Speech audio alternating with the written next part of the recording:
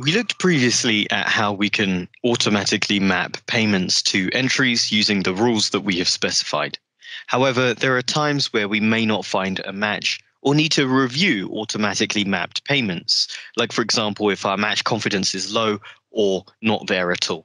When this is the case, we can go to the line we're having an issue with, like our top line that we have here, for example, and we can go to manual application and apply manually. And that opens the payment application window. This allows us to review, unapply, and reapply the payment manually. On this page, we can simply untick the apply field to unapply the entry, and we can apply this payment wherever we would like it to go.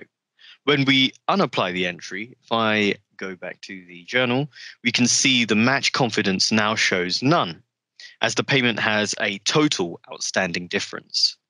If I apply this manually to an entry, we'll go back to the apply manually page and we'll pick the same entry as it is correct and then close the page.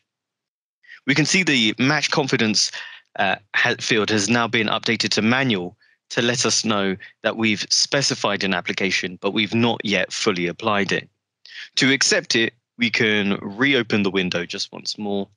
And under Actions, Review, we have accept application, and we can now see that the match confidence is set to accepted.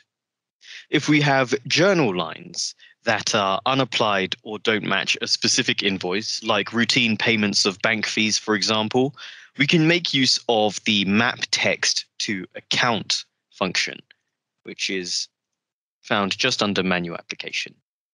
Using this, we can map a line of text with a specific account, meaning that when we raise these payments in the journal, Business Central will take a line of text, like, for example, bank charges, and map it to a specific credit, debit, or balancing account that we specify.